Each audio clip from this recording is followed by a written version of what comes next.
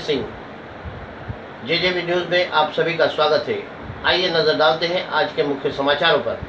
थाने crime branch ने आज 19 करोड़ का ड्रग्स बरामद किया, जिसमें दो लोगों को गिरफ़्तार किया। थाने कमिश्नर पुलिस परमवीर सिंह ने बताया कि ये दो लोग ड्रग्स बेचने के चक्कर में यहाँ आए थे। यह drugs Centaur pharma private limited से लाया हुआ था, जो कि अंबरनाथ में स्थित है। मिली जानकारी के अनुसार, जब सेंटार फार्मा की जाँच की गई तो वहाँ सात सौ चौवन किलो का अल्फाजोलम नामक ड्रग्स मिला। व सुमारो नामक ड्रग्स सौ किलो बरामद हुआ। पुलिस ने यह भी बताया कि इस कंपनी के पास सत्ताईस प्रकार की दवा बनाने का लाइसेंस था, लेकिन इस ड्रग्स के हेराफेरी में दो लोग कंपनी के एम्प्लॉय भी गिरफ़्तार किए गए हैं। बताया जाता है कि इस कंपनी का तीन जगहों पे ब्रांच था। इस गिरोह के बारे में पुलिस कमिश्नर परम परमवीर सिंह ने बताया छः जनवरी को इन्फॉर्मेशन पर कार्रवाई करी। हमारे सब इंस्पेक्टर वाल जले को इन्फॉर्मेशन आई थी। एसीपी शेड के, उनके द्वारा टीम लीड की गई। और आनंद ब्रिगेड टावर के नज़दीक जाके उन्होंने दो लोगों को इंटरसेप्ट किया, उनकी तलाशी ली और तलाशी के दौरान उनके पास से लगभग छः किलो कॉन्ट्राबैंड मिला, जिसको वो वहाँ बेचने के लिए आए थे। उनको हमने अरेस्ट किया, अपने ताबे में लिया। उनके नाम थे लव कुश गुप्ता और अमित गोडबोले। उनको अरेस्ट करने के बाद कॉन्ट्राबैंड मिलने के बाद और जाँच होने के बाद एक गुना दाखिल किया गया थाने नगर पुलिस स्टेशन में। Section 8 C, section 22 section 29 NDPS act के तहत, और इन दोनों को हमने अरेस्ट कर लिया केस में। इनसे पूछताछ के बाद सामने आया कि कंपनी के दो एम्प्लॉयज़ इनके साथ इन्वॉल्व थे, जिनका नाम है बासवराज भंडारी और अनिल राजभर। हमारी टीम यहाँ से Centaur pharmaceutical private limited Ambernath में जो फैक्ट्री है, वहाँ पहुँची।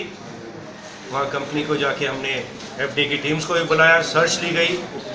और सर्च के दौरान लगभग साढ़े सात सौ किलो कॉन्ट्राबैंड वहाँ पे कैविटीज़ में छुपा के रखा गया था। वो हमको मिला वहाँ पे। उसमें से सैंतालीस किलो, लगभग सैंतालीस किलो एल्ट्रोजोलैम था, जो कि एक नाकोटिक ड्रग है एनडीपीएस एक्ट के नीचे। और इसके अलावा 12 अदर टाइप के psychotropic substance 12 other psychotropic substance भी लगभग 100 किलो जिनका वज़न था वो प्राप्त हुए। इसके अलावा 100 किलो 600 किलो और केमिकल भी कैविटीज़ में छुपा के रखा गया था। उसको भी हमने तापे में ले लिया है। उसको एग्जामिन किया जा रहा है कि वो कॉन्ट्रावेंट क्या है। टोटल कॉन्ट्रावेंट जो अब तक सीज किया गया है, उसकी कीमत है लगभग 19 करोड़। फैक्ट्री में इस लगभग 27 प्रकार के साइकोट्रोपिक सब्सटेंस बनाए जाते थे। और टोटल जो हमें वहाँ स्टॉक रॉ मटेरियल का लगभग 105 टन का स्टॉक था। अंडर प्रोडक्शन लगभग चार टन एंड फिनिश प्रोडक्ट लगभग छः टन जो वहाँ स्टोर किया गया था। इस स्टॉक को भी वेरीफाई किया जा रहा है एफडीए की मदद से और हमारी क्राइम ब्रांच की टीम वेरीफाई कर रही है। ये जानने के लिए कि ये सब प्रॉपरली अकाउंटेड फॉर था या इसमें भी कुछ कॉन्ट्राबैंड था। ऑनरेबल कोर्ट के सामने उनको पेश करेंगे और उनकी आगे की कस्टडी हम कोर्ट से विनती करेंगे। फिर ये जो पाउडर पकड़ा गया है ये एग्जैक्टली किस तरह से इसका मिसयूज हो सकता था ड्रग के जो नशीले पदार्थ के रूप में यूज़ होता है? किस तरह लोग उपयोग करते थे और ये जो साइकोट्रोपिक सब्सटेंसेज हैं जो कि एनडीपीएस एक्ट में लिस्टेड है ये खुद एक ड्रग है अपने आप में साइकोट्रोपिक सब्सटेंस इनका इस्तेमाल डायरेक्टली ब्रेन में चेंजेस लाने के लिए। मेंटल स्टेट को बदलने के लिए इनका इस्तेमाल किया जाता है। ड्रग यूज़र्स अब्यूज़र्स इसका इस्तेमाल करते हैं। इनका इस्तेमाल मेडिसिन में भी होता है लेकिन बहुत ही स्ट्रिक्ट कंट्रोल है इसके बारे में। एंड साइकोट्रोपिक सब्सटेंस अगर कमर्शियल क्वांटिटी में प्राप्त होता है तो उसकी मिनिमम पनिशमेंट 10 साल है जो कि 20 साल तक एक्सटेंडेड है। सर देखा जाए कि में कब से चल रहा था और कौन कौन लोग इन्वॉल्व हैं? क्या लगता है कंपनी में बड़े ये सेंटोर फार्मास्यूटिकल प्राइवेट लिमिटेड एक बड़ी कंपनी है। ये फैक्ट्री भी करीब 25 वर्ष से ये फैक्ट्री यहाँ पर चल रही थी। करीब 250 लोग यहाँ पर काम करते हैं। तो वेरीफाई किया जा रहा है कि इसमें और कौन लोग इन्वॉल्व हैं? हायर मैनेजमेंट के लोग इन्वॉल्व हैं या डायरेक्टर लेवल के लोग इन्वॉल्व हैं या फैक्ट्री लेवल के मैनेजर कौन इन्वॉल्व हैं? कब से ये रैकेट चल रहा था? कहाँ इन्होंने इससे पहले डाइवर्ट किया? विदेश भेजा? कहाँ भेजा गया? वो सारी हमारे वेरिफिकेशन चल रहा है। अप्रोप्रिएट स्टेज पे आपसे आपके साथ शेयर किया जाएगा। सर जिस तरह से रजिस्टर हुई है कंपनी इस मोटिव के लिए। उस मोटिव के अलावा ये इलीगली ये सब हो रहा था कॉन्ट्राबैंड का अर्थ ये है जो इन्होंने छुपा के अपने स्टॉक्स में रिफ्लेक्टेड नहीं था छुपा के रखा गया था इलीगल यूज़ के लिए डाइवर्जन के लिए उसके विषय में ये केस किया गया है जो इनके स्टॉक्स में दिखाया गया है करीब 115 टन उसका वेरिफिकेशन चल रहा है। तो कितना बड़ा रैकेट हो सकता है कंपनी से माल बाहर जा रहा था? रैकेट बहुत बड़ा है 19 करोड़ का तो मैंने बताया कॉन्ट्राबैंड ऑलरेडी मिल चुका है। इसके अलावा वेरिफिकेशन के दौरान अगर और कुछ अपने को जानकारी मिलती है सामने आता है तो वो भी आपसे शेयर करेंगे। इससे पहले कितना माल डाइवर्ट किया गया था कहाँ ले जाया गया था विदेश भेजा गया था या किस प्रकार से उसका यूज़ किया गया था वो अवश्य हमारे इन्वेस्टिगेशन में साम, सामने आएगा और आपसे शेयर किया जाएगा। इंटरनेशनल ट्रांजेक्शन कुछ आ रहे हैं इंटरनेशनल ट्रांजेक्शन हम वेरीफाई करेंगे इंटरनेशनल इसका रेमिफिकेशन कुछ है क्या? बिकॉज़ कुछ समय पहले डीआरआई ने भी एक केस किया गया था जहाँ पे एल्प्रोजोलैम को कॉल सेंटर के मार्फत विदेशी नागरिकों को भेजा जा रहा था बेचा जा रहा था। तो उससे भी कुछ कनेक्शन है क्या? वो भी हम अवश्य वेरीफाई करने की कोशिश करेंगे। सर देखा जाए सैंतालीस किलो का उन्नीस करोड़ रुपया दाम बाकी जो 700 किलो है उसकी कीमत कितनी होती जो 19 करोड़ बताया ये हमने करीब आपको डेढ़ सौ करोड़ का दाम बताया है तेरह प्रकार के साइकोट्रॉपिक सब्सटेंस का। इसके अलावा 600 और हमने अपने ताबे में लिया है उसको वेरीफाई किया जा रहा है कि कौन सा कॉन्ट्राबैंड है उसके बाद उसकी कीमत आकी जाएगी। और जो इनके स्टॉक्स मिले हैं 115 टन, उसमें कुछ कॉन्ट्राबैंड है क्या? उसकी कीमत उसके बाद आकी जाएगी।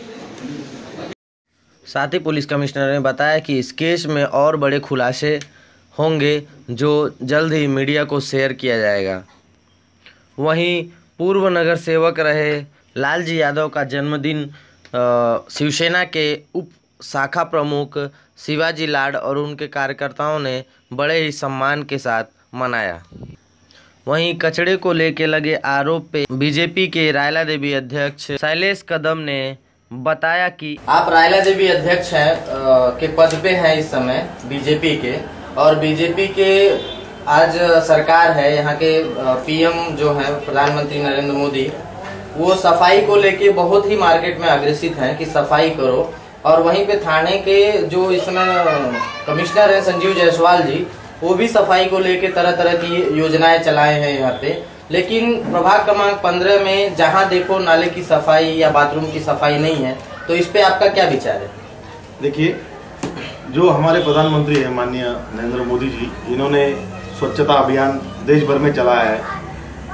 उसी चीज़ को हम लोग सराहनीय मान के म, यहाँ रायला देवी विभाग का अध्यक्ष शैलेश कदम के नाते और हमारे सहयोगी माननीय नगर सेवक राजकुमार यादव जो अभी गलीचे बस्ती सभापति है उनके द्वारा महानगर पालिका को बार बार पत्र व्यवहार किया गया है।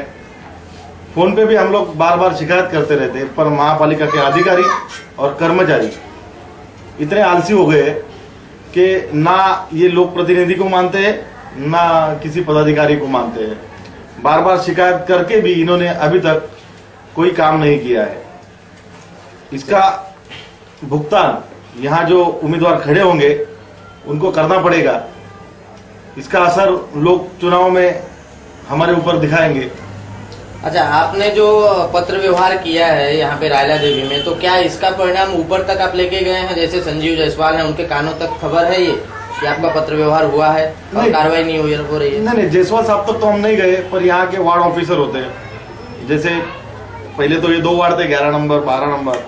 तो यहाँ के जो अधिकारी है वार्ड ऑफिसर सहायक उपायुक्त इन तक हमने पत्र व्यवहार किया है। हमारे सभापति है सभापति से हमने पत्र व्यवहार किया है। इन्होंने भी महानगर पालिका के अधिकारी तक पत्र व्यवहार किया है। बार बार फ़ोन से भी हम कांटेक्ट करते हैं। आजकल ऐसे टाल मटोल करके आज तक हमारे परिसर में अस्वच्छता ही अस्वच्छता दिख रही है। तो क्या आपको ऐसा लगता है कि संजीव जायसवाल इतने जो प्रेरित नुमा काम कर रहे हैं इतने कार्रवाई करवाए अवैध लॉजो पे और इस पे उस पे लेकिन उनके ही अधिकारी काम नहीं कर रहे हैं?